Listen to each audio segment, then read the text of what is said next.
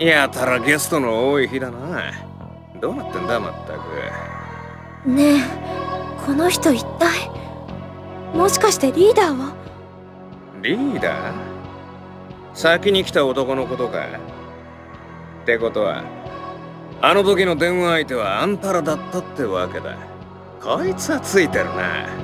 探す手間が省けたぜ悪魔たちのことを知られた以上生かしとくわけにはいかねえからな。だがこのキャロル・ジェイの悪魔を退けてここにたどり着くとはあんたらも相当気合入ってるな。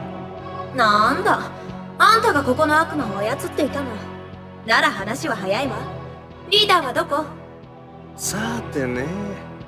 生きてるんだか死んでるんだかであんたらどこのもんだ？そこの野郎はサマナらしいが組織じゃ見ねえ顔だな。サマナ彼のことを言ってるの？当たり前だろ。サマナでなきゃなぜコンプを持ってる？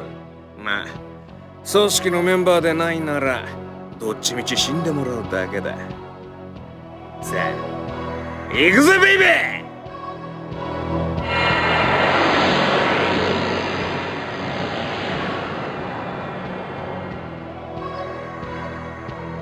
やかましいやつね。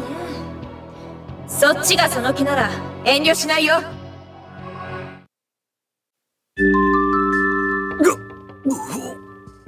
なんなんだ。野郎はともかく女まで気合入ってやがる。ちてめえら命拾いしたな。ここは引いてやる。だが覚えてろ。このままじゃ済まさねえからな。最後まで騒がしいやつね。あれ？